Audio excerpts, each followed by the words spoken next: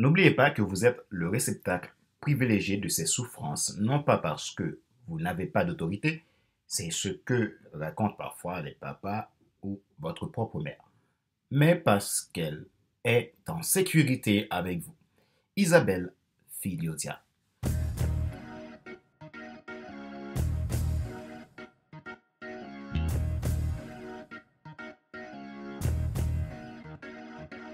Bonjour mesdames, messieurs. Merci d'avoir rejoint le FC Leadership Podcast, le podcast de la semaine destiné à ceux et celles qui en ont assez de suivre la et qui veulent passer à l'action, même s'ils ont peur, pour vivre enfin leur rêve. Je suis Pander Célestin, votre coach professionnel certifié RNCP, consultant formateur, auteur du guide de l'auto-coaching pour un épanouissement professionnel et personnel accru et co-auteur du livre Devenir enfin moi, en avant vers la haute, soit ce que tu dois absolument savoir sur toi-même pour enfin sortir du regard des autres vivre la vie de tes rêves. Nous sommes à l'épisode numéro 97 de la série FC Leadership Podcast. Aujourd'hui, c'est un épisode spécial dont le sujet est porté sur le leadership parental. Pourquoi un tel sujet? Parce que cette semaine, est né mon fils, mon premier enfant, Matt Connor Célestin, qui euh, vient mettre de la joie dans la famille et aussi, euh, comme tout parent, nouveau ou ancien, on est heurté à cette question de la responsabilité parentale. Cela amène à d'autres priorités et un chamboulement positif. Un chamboulement dans l'état de pensée, dans la manière dont on voit les choses et évidemment comment devenir un meilleur parent C'est cette, question qu'on se pose et qu'on veut répondre également. Voilà, ma joie et notre réussite. L'action, c'est maintenant. On va discuter euh, autour de ce sujet, la responsabilité parentale, un acte de leadership.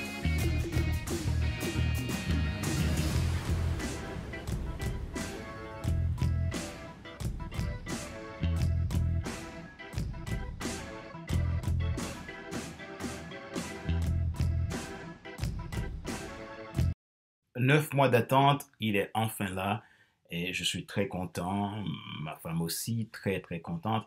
Et on, on observe, on regarde, on admire, on lui fait des sourires, on lui parle, on se demande est-ce qu'il comprend ou est-ce qu'il a entendu ce qu'on a dit, mais on est très très très excité à, à ce nouveau rôle qu'on a. Et je pense que c'est le cas de beaucoup de parents, je sais pas, est-ce que c'est tous les parents, j'en sais rien, mais en tout cas, euh, quand on est parent, il y a quelque chose qui se passe. Ça, c'est clair.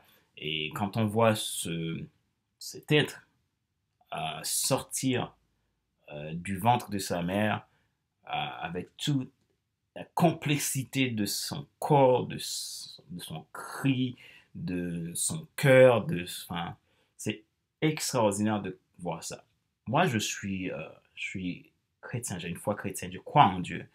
Tout ceci n'est pas une question de religion, mais c'est, c'est ma foi de me rapprocher d'un être que je crois, qui est le maître de l'univers, qui est Jésus-Christ, Dieu, et qui, en qui j'ai une relation et je cherche à développer cette relation. Il y a aussi simple que ça. Donc, je ne suis pas dans un débat de, de religion du tout, mais quelque chose qui m'aide à comprendre, permet de comprendre ah, ok, cette complexité, cette vie de, de, cet être qui vient de naître et comment c'est extraordinaire de voir ça. En tout cas, moi, je suis très émerveillé de voir tout ça et de comprendre euh, que, waouh, j'ai été aussi dans, dans cette situation quand j'étais bébé dans le ventre de ma mère et j'ai grandi, etc. Et là, tu, tu vois que toi, c'est ton tour que tu passes par cette étape de comprendre que waouh, j'ai un bébé et que je dois en prendre soin, je dois essayer de comprendre ses cris, de comprendre euh, quand il va mal ou quand, ou quand il est content ou quand il a sommeil ou quand il a faim. C'est extraordinaire. Et tout ceci m'amène au leadership. Le leadership, c'est de l'influence. Chacun a de l'influence. Ici, donc, je suis en train d'observer mon fils et qui finalement m'apprend énormément de choses. Ça s'appelle de l'influence. Il t'influence à commencer à voir les choses autrement, à commencer à voir la vie autrement et à me voir autrement aussi. Hein? C'est extraordinaire. cet être qui ne parle pas encore, mais qui comprend, je suppose, et qui t'observe également, donc qui t'influence sur quelque chose. Et moi, mon rôle en tant que, parent, qu'est-ce que je dois lui amener? Est-ce une obligation ou est-ce un vouloir de dire que c'est mon fils, je vais l'accompagner, je vais l'aider? Oui, il y a les deux. Cette obligation, cette obligation aux yeux de la loi, aux yeux du, monde, tu as une obligation. Mais comment je peux vivre cette obligation de manière libre, de manière épanouie? Je pense que c'est dans le vouloir. C'est dans le vouloir d'être père, dans le vouloir d'être un parent qui prend ses responsabilités, un parent qui décide de dire quelles sont les valeurs que je veux véhiculer à mon enfant et quels sont les choix que je veux faire qui sera bon pour lui. En tant que coach professionnel qui se spécialise dans le leadership, tout de suite j'ai ce réflexe, cette, cette, passion de dire que je dois aujourd'hui consacrer ma priorité à, à cet enfant, à cet être-là, aussi extraordinaire que comme Dieu l'a créé, aussi incroyable, avec des yeux, avec des... C'est juste incroyable. Et tu dis, mais waouh, mais toi tu es responsable.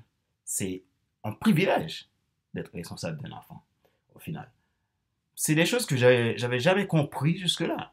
C'est des choses que ben, j'entendais. J'observais mon père, j'observais ma mère. Parce que j'ai eu, euh, dans ma famille, on est, on est neuf enfants. Donc, euh, j'observais comment il faisait. Et j'ai grandi dans une famille où j'avais euh, reçu beaucoup d'amour. Et je suis très reconnaissant. Très reconnaissant à Dieu et aussi à, mes parents qui m'ont permis de vivre cette vie épanouissante. Euh, je les ai observés. Mais jusque-là, je n'avais pas compris quelle sensation ça fait d'être père, de voir ton enfant. Et tu commences systématiquement, le jour où il est sorti, a commencé à penser, enfin, pour son avenir, à penser sur plein de choses. C'est trop extraordinaire. Et euh, avec, avec mon ami, et je vais citer son nom, mon ami Shirley, qui, elle, aujourd'hui, a deux, un fils et une fille, et qui également est euh, s'occupe de, de, l'accompagnement des parents et leurs enfants, euh, donc qui a créé une rubrique qui s'appelle Maman Lit. On parlait beaucoup de ces choses-là et elle, elle m'expliquait beaucoup de choses sur euh, la relation parent-enfant, comment, comment, qu'est-ce qui se passe quand on est parent? Je comprenais, mais je comprenais à ma manière de, d'homme qui n'a pas encore de, de vécu avec, euh, avec un enfant et tout ça. Et d'un coup, je commence à comprendre mieux tout ce qu'elle exprimait et ce qu'elle me, me, racontait sur sa, relation euh, avec, avec euh, ses enfants. Aujourd'hui, je, je, remercie Shirley parce que c'est, je peux dire, aujourd'hui, c'est un, de mes, mes meilleurs amis. C'est vraiment, c'est ma meilleure amie. Donc, avec qui on échange beaucoup sur beaucoup de choses et qui euh, a été toujours en soutien. J'en parle parce qu'elle a toujours été en soutien euh, pour moi. Également, j'ose aussi parler de, de, mon ami, donc euh, aussi mes amis. Donc, je vais parler de Christelle, de, Christelle Nativel, de Vincent Nativel et également de Déborah. Déborah aussi, aussi elle, elle n'a pas encore d'enfant, mais c'est des gens avec qui j'ai partagé beaucoup, beaucoup de choses.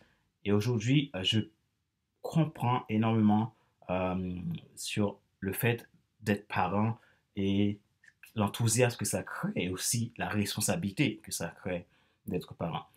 J'ai toujours été passionné de responsabilité. Je me disais que si on ne prend pas notre responsabilité dans la vie, on ne peut pas réaliser grand-chose. Tout est une question de responsabilité. Dans le leadership, c'est tout est la responsabilité. Le leadership, c'est de l'influence. Chacun a de l'influence. Il y a une responsabilité derrière. Qu'est-ce que je fais avec mon influence? Est-ce que je décide d'être conscient de mon influence et que je l'utilise à bon escient pour aider les gens à se développer eux-mêmes? Ou est-ce que je nie cette influence et je fais n'importe quoi. Donc tout est une question de responsabilité. Cette responsabilité, encore, ça, ça, en fait, on comprend encore plus avec cette dimension d'avoir un enfant à sa, charge et d'en prendre soin. Euh, c'est extraordinaire. Donc voilà, aujourd'hui, je voulais faire cet épisode euh, de, de, podcast, donc tout simplement pour parler de la responsabilité parentale. Donc pour moi, c'est un acte de leadership euh, et comment être un parent leader? Je, le répète, le leadership, c'est de l'influence, on a tous de l'influence, mais moi, pour être un parent leader, c'est de prendre conscience de son leadership. De son leadership sur son enfant, de son leadership sur sur, sur sa femme et, du leadership de sa femme aussi également. Hein. Quand je parle de ça, je parle pas, euh, je parle de, de, de, leadership, cette, relation partagée, cette influence et, qui, qui, se passe autour, autour, de la famille. Et je pense aussi que en tant qu'entrepreneur, que le leadership parental peut jouer au succès entrepreneurial. Euh, en tout cas, je, je, je, le ressens. Je le ressens parce que ça, ça te, te met dans un, dans, dans une autre dynamique où tu penses à des choses euh, beaucoup plus profondes encore et encore. Euh, un de, de, de, de, mes contacts sur Facebook, c'est un entrepreneur aussi qui, qui euh, fait partie de mon réseau Facebook et qui a dit quelque chose qui était assez intéressant quand j'ai mis le post que je suis papa. Il a dit que encore, une, encore un autre fait qui euh, va, qui, qui, qui, change mon pour qui, qui va, qui va encore euh, étendre mon pour qui. Je trouvais que c'était excellent son, son, son, post et c'est exactement ça parce que quand tu es parent, tu as toute une responsabilité et ça, ça tourne autour de cette responsabilité de, de, parent et éventuellement tout ce que tu vas faire va en découler. Donc, mon, mon entreprise va être impactée par ces, cet enfant qui arrive et ma vie va être impactée, ma famille va être impactée, euh, ma femme est, impactée et on est hein, dans cette démarche de dire comment on veut construire euh, une vie épanouissante pour cet enfant et que cet enfant puisse choisir. D'ailleurs, je, l'ai appelé euh, Matt Connor, ça a, un sens très, très profond et je sais pourquoi on, a donné, on a donné ce nom de Matt Connor. Donc, euh, tout ça, on, a, on, vise quelque chose. Mais moi, ce que je souhaite en tant que leader, c'est que cet enfant puisse prendre son chemin. Et comment moi je peux faire pour aider cet enfant à prendre, à prendre le chemin qu'il doit prendre. Comme le dit si bien Brian Houston, est-ce que la route à laquelle tu voyages conduit à, à, la route à laquelle euh, tu es appelé? C'est d'aider cet enfant à, ce que lui, euh, dès maintenant, de commencer à prendre le chemin qu'il doit prendre. Son chemin, le chemin de sa destinée, le chemin de sa vie, le chemin qui va l'amener vers quelque chose de plus grand, qui va l'amener vers une relation avec, avec son Dieu, avec euh, cette personne ultime qui est celui qui peut l'aider à tout faire, à tout réaliser dans ce monde et à vivre une vie libre dans ce monde. Comment l'aider à être quelqu'un qui n'est pas influencé par ce que les autres pensent, qui n'est pas influencé par ce que les autres veulent, mais qui va prendre ce qui est bon et définir ce qui est, lui, ce qui est bon pour lui dans la mesure où cela respecte les règles, où cela respecte Dieu. Parce que moi, je suis très euh, convaincu sur ça, hein, que on a, nous sommes des êtres corps, âme et esprit, donc nous avons besoin d'une relation avec un être suprême. Donc ça, c'est important. C'est ça qui crée l'équilibre, qui crée une vie stable et, et garantit le succès également. Maintenant, comment créer tout ça? C'est extraordinaire que toutes ces questions me passent par la tête aujourd'hui. Et il y a quelque chose de très simple que je vais expliquer, qui euh, est le fait que cette semaine, je devrais me rendre à l'hôpital parce que quand ma femme a accouché, je devais me rendre à l'hôpital. Et il fallait que je trouvais des vêtements, des, enfin, il y a tout ce qu'on appelle pour les, pour les bébés, on a plein de noms. Je, en fait, je m'habitue à des noms de, de, de, de, vêtements de type, de type enfin, c'est assez intéressant tout ça. Et moi qui n'ai pas un, champion du rangement à la maison, qui perd toujours ses chaussettes et qui ne les retrouve pas, et qui, quand il cherche quelque chose à la maison, il est sous, ça peut être sous mes yeux et je n'arrive pas à le trouver, que ma femme elle a, un don, elle est douée pour repérer les choses à la maison, aussi simple que ça, comme bonjour, et pour moi c'est hyper compliqué, je suis dans le placard, je trouve pas mes chemises. Pourtant ils sont en face de moi. Donc c'est assez surprenant, et ça m'a appris une leçon de leadership extraordinaire. Et cette leçon, vous pouvez me dire, mais waouh, mais en tant que parent, euh, ben, je peux pas, je dois développer cette qualité de dire que ben, il faut que je trouve où sont, où sont ces vêtements. Parce que j'avais du mal à trouver. Ma femme, elle, me disait, il faut aller là. elle m'a dit, tu sors, tu, tu tires le, tiroir et tu regardes dans le tiroir à gauche, tu verras telle, telle chose, etc. Et tout ça, je me disais, mais ouais, mais elle est douée, mais comment elle a pu faire ça? Pourtant, moi, je suis, je suis entrepreneur, je, je m'organise très bien dans mon entreprise. Mais comment j'arrive pas à, à, repérer certaines choses à la maison Et tout ça, ça, c'est des choses très simples, mais qui me dit, mais waouh, mais ça m'apprend tellement. Et je suis tellement reconnaissant pour cela.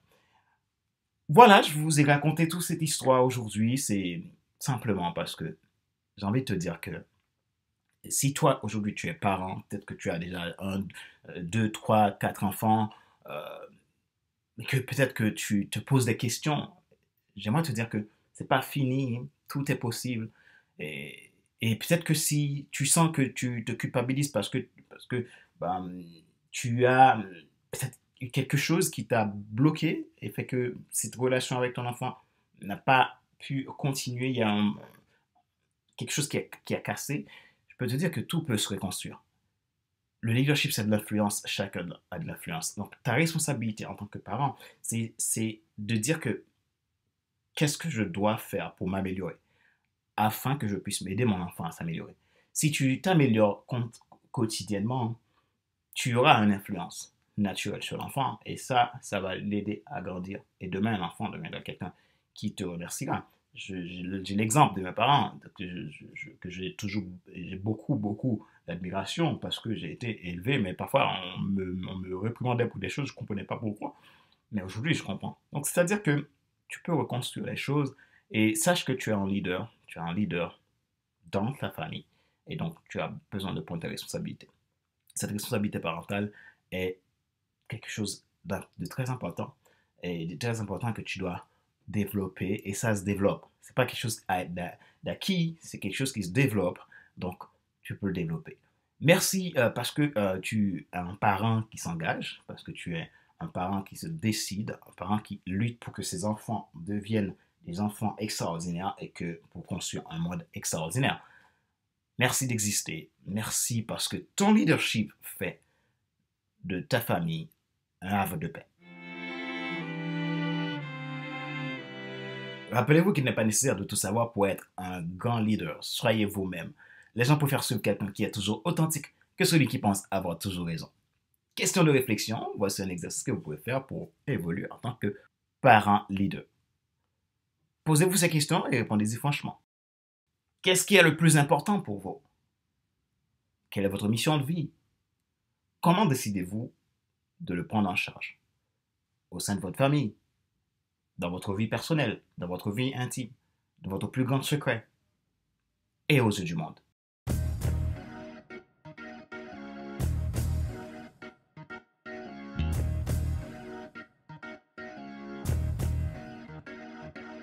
C'est la fin de cet épisode numéro 97 de la série FC Leadership Podcast, le podcast de la semaine destiné à ceux et celles qui ont assez de suivre la vie et qui veulent passer à l'action même s'ils ont peur pour vivre enfin leur rêve. Ce podcast a été présenté par Fadler Célestin, votre coach professionnel certifié RNCP, consultant formateur, auteur du guide de l'auto-coaching pour un épanouissement professionnel et personnel accru et co-auteur du livre Devenir enfin moi, un arbre vers la haute, soit ce que tu dois absolument savoir sur toi-même pour enfin sortir du regard des autres et vivre la vie de tes rêves. Mon travail consiste à aider les gens à rentrer dans leur destinée, développer leur potentiel et vivre de leur plus grand rêve. Si vous souhaitez un accompagnement en coaching professionnel, en coaching individuel, vous pouvez me contacter à contact.fc5.com ou tout simplement prenez un rendez-vous depuis mon agenda en ligne que je mettrai dans la description de cet épisode de podcast. Ma joie est dans votre réussite. L'action, c'est maintenant. Si vous n'êtes pas encore abonné à ce podcast et que vous portez un intérêt particulier, vous pouvez le faire en cliquant sur le bouton s'abonner sur ma chaîne YouTube et n'oubliez pas d'activer la cloche pour être alerté de tout nouveau contenu. Vous pouvez également vous abonner sur iTunes Store, Google Podcast, Spotify, SoundCloud, Deezer et TuneIn. Merci d'exister, merci pour vos feedbacks et pour qui vous êtes.